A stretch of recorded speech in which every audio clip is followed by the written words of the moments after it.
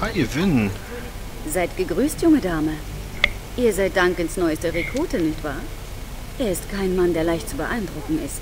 Ihr solltet stolz auf euch sein. Erlaubt mir, mich vorzustellen. Ich bin Win, eine der Magierinnen, die der König hierher gerufen hat. Das freut mich zu hören und ich freue mich auch, euch kennenzulernen. Es ist mir wirklich eine Freude und ich wünsche euch viel Glück auf dem Schlachtfeld.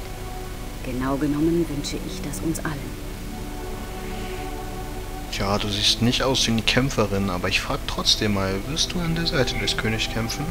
Nicht direkt. Die grauen Wächter stehen an vorderster Front, nicht die Magier. Aber auch wir haben unsere Aufgabe. Um die dunkle Brut zu besiegen, müssen wir zusammenarbeiten. Allerdings scheinen das noch nicht alle begriffen zu haben. Tja, hast du schon mal gegen dunkle Brut gekämpft? Ja, gegen Nachzügler. Nicht gegen die riesige Horde, von der die Speer berichten. Ich frage mich, wie viel wisst ihr über die Verbindung zwischen der dunklen Brut und dem Nichts? Jo.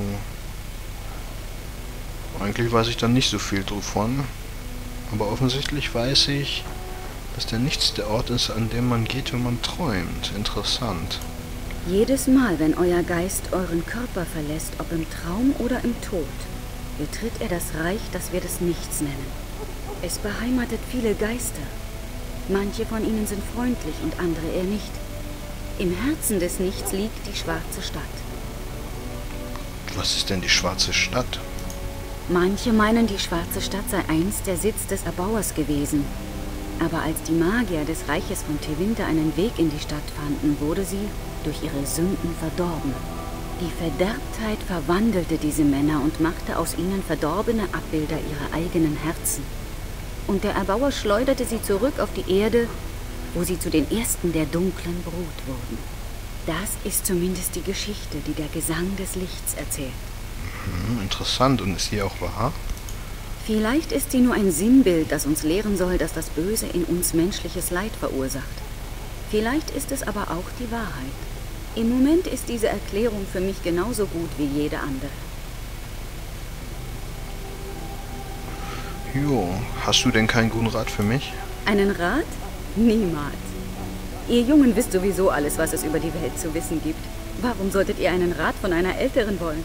Aber ich bin mir sicher, dass Duncan mehr für euch zu tun hat, als euch mit mir zu unterhalten. Bestimmt hat er das, aber das ändert ja nichts an der Tatsache, dass man sich unterhalten kann. War ich hier schon? Ja, hier war ich schon. Gut. Latschen wir mal gepflegt hier rüber. Ein besänftigter. Und eine verschlossene Truhe. Willkommen, junge Frau. Ja, wer seid ihr? Ich bin einer der Besänftigten. Ich gehöre dem Zirkel der Magie an. Aber anstatt Zauber zu wirken und Bücher zu lesen, verbringe ich meine Zeit mit Verzauberungen. Es ist ein zeitaufwendiger Prozess, aber von unschätzbarem Wert. Der Zirkel verdankt seinen Reichtum den Verzauberungen. Durch Nächstenliebe allein würden wir nicht überleben.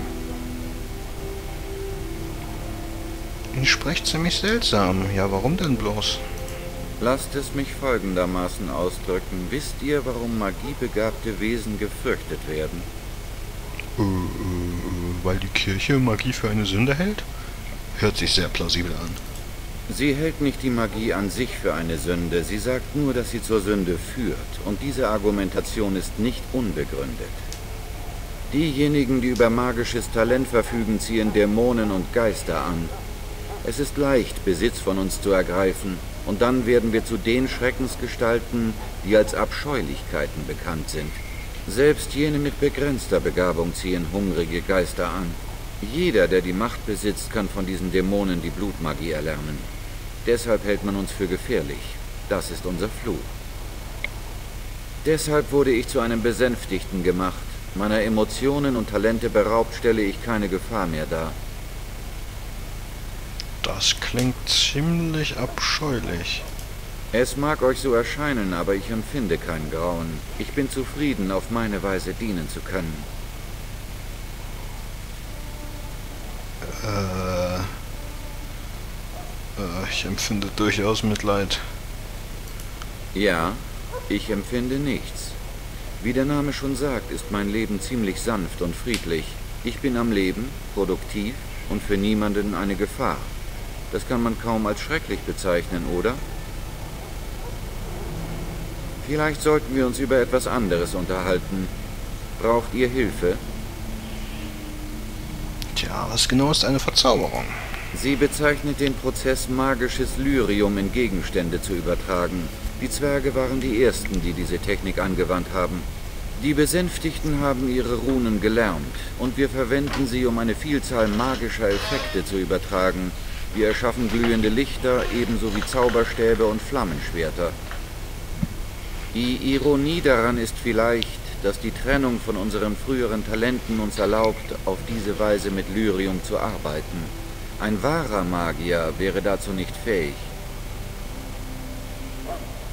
Was für Verzauberungen gibt es? Es gibt Runen, die die Macht der Elemente enthalten und andere, die Stärke und Schnelligkeit verbessern. Mit genügend Können und Lyrium kann jedem Zauber Beständigkeit verliehen werden. Je größer die erforderliche Macht ist, desto teurer ist natürlich auch die Herstellung der Runen. Wahre Macht hat ihren Preis, wie wir alle nur zu gut wissen. Vor allem fordert Macht auch ihren Preis, aber ich sollte jetzt gehen. Auf Wiedersehen.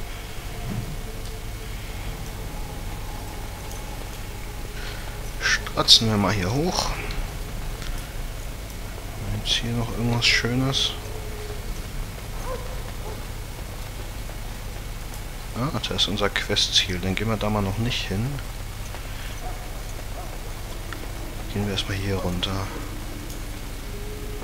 Das ist der Kriegsrat. Schön euch zu sehen. Ja, schön dich zu sehen. Oh, verzeiht. Ja. Euch flackern da die Kleidung.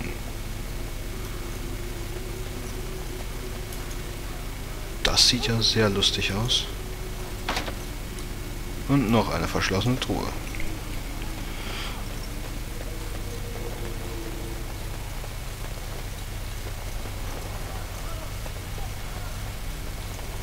So. Also, kann ich dir irgendwelche letzten Wünsche erfüllen, bevor du dich in den Kampf stürzt? Das Leben zieht nur so an uns vorbei, weißt du? Schon morgen um diese Zeit könnte dein hübsches Gesicht einen Speer der dunklen Brut zieren. Darf ich diesen stummen Blick als Nein deuten? Schon wirklich zu schade. Mensch, Deveth. Das war aber eine plumpe Anmache. Also, du bist anders, als ich gedacht hatte. Ja, was hast du denn erwartet? Nun, bestimmt keine Frau. Und doch bist du hier. Mein Name ist Davith. Es wird auch Zeit, dass du hier auftauchst. Ich hätte schon fast gedacht, sie hätten dieses ganze Ritual nur erfunden, um uns was zum Nachdenken zu geben.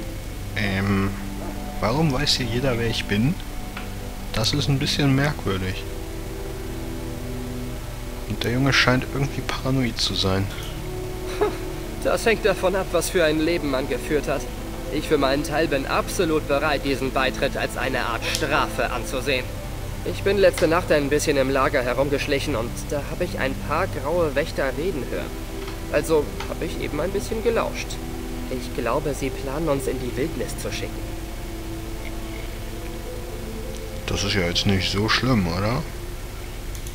Kannibalen, Monster, Hexen und jetzt die dunkle Brut? Was ist daran nicht furchterregend? Das ist mir alles viel zu geheimniskrämerisch. Da zuckt mir die Nase. Ich schätze mal, wir müssen abwarten, was kommt. Als ob wir eine Wahl hätten. Also ich freue mich darauf. Ich habe da nichts gegen. Du klingst genauso wie der komische Ritter. Naja, wenn du meinst. Aber egal, es ist wohl Zeit zu Duncan zurückzukehren. Ich werde da sein, falls du mich brauchen solltest. Tschüss, lieber Deveth.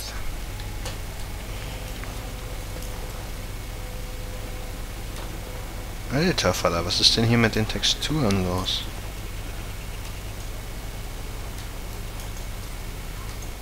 Habt ihr hier irgendwo eine Elfin gesehen? Eine junge Frau mit roten Haaren, die eine Kettenrüstung herumträgt? Nein, das habe ich durchaus nicht. Verdammt, wo ist sie nur hin? Wehe, wenn die Rüstung bei ihrer Rückkehr nicht ausgebessert ist. Beim Erbauer, dann werde ich... Oh, verzeiht mir meine Manieren. Ich bin sicher, meine Probleme interessieren euch nicht. Ich bin der Quartiermeister. Seid ihr hier, weil ihr Ausrüstung benötigt?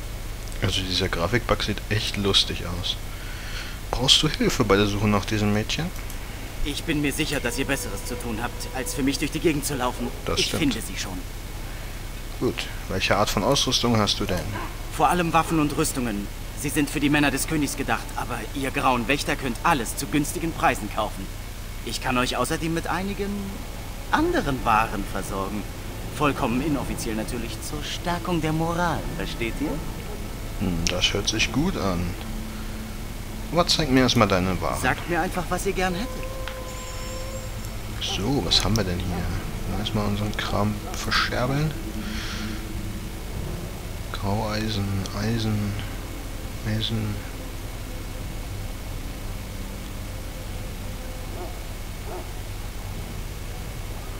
Familienschwert macht irgendwie mehr Schaden als der Kram hier. Können wir erstmal den Kram hier verticken. Den Langbogen behalten wir mal. Und das Großschwert können wir auch noch gebrauchen. Der Rest kann erstmal weg. So. Der ganze Lederscheiß, den kann man erstmal sellen. So viele Schilde braucht man dann auch nicht. Aber dieses High-Ever-Schild heben wir mal auf. Das ist ganz cool. Ein Helm, ein Helm, ein Helm. Schuppenrüstungshandschuhe. Wir haben doch schon eine Schuppenrüstung. Da kann man sich mal Handschuhe und Stiefel zukaufen, würde ich mal behaupten. Das ist doch, glaube ich, nicht zu schäbig.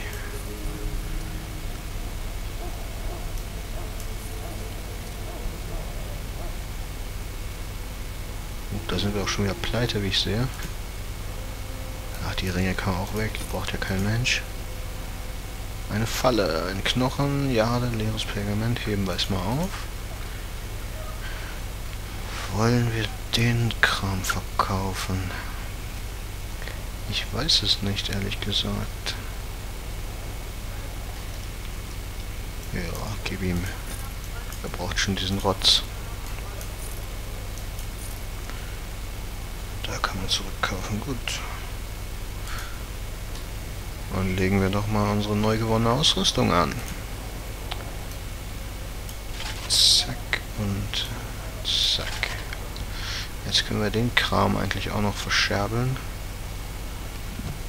Ich denke, das werde ich auch glatt mal Da machen. seid ihr ja wieder. Braucht ihr etwas? Vielleicht Ausrüstung?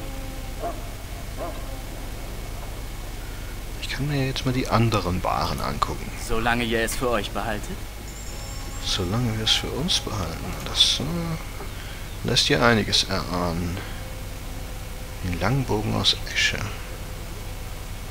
Nicht schlecht, aber der ist ein bisschen teuer. Oh Gott, 5 Gold. Hallali. Hier noch irgendwas Schönes? Schwere Kettenrüstung, auch nicht schlecht. Allerdings alles ein bisschen teuer noch. Ja, dann lassen wir das erstmal, würde ich behaupten. Können ja später wieder kommen, wenn wir Gold haben. Tum, tum, tum. Wo geht's hier hin? Ein Soldat. Oh, hier ist das Krankenlager. Hallo Amme. Ihr werdet hier nicht lange bleiben wollen, Wächter. Die meisten dieser Männer wurden vom Blut der dunklen Brut verdorben.